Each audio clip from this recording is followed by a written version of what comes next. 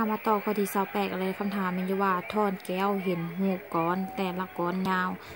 24ซนติเมตร มีฟองอากาศน้อยๆอยู่ภายในเมื่อเบิ่งทางด้านเทงสื่อลงไปจะเห็นมันอยู่ห่างจากเบื้องเทิง4ซนติเมตร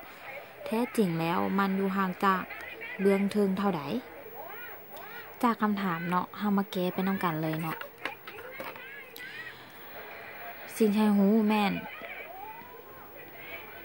อันท่อนแก้วเห็นหูก้อนแต่ละก้อนมีความยาว L เท่ากับ24ซนติเมตร N 1เท่ากับ 1.5 N 2เท่ากับ 1 S ขีดเท่ากับ 10ซนติเมตร แล้วเฮามาซอกเพิ่นให้ซอกหา อยู่ห่างจาก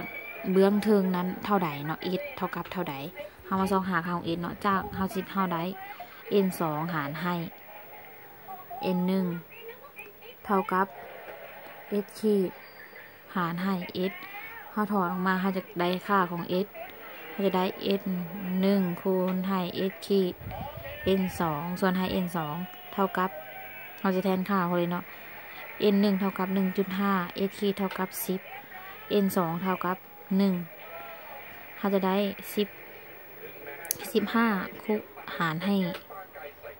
1 เท่ากับ 15ซนติเมตรดังนั้น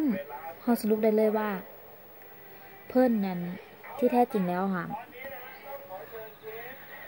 อยู่ห่างแบบว่าอยู่ห่างจากเบื้องเทิงแม่นค่ะ อยู่ห่างจากเบื้องเทิงแม่น s เท่ากับซิมหะเซนติเมตร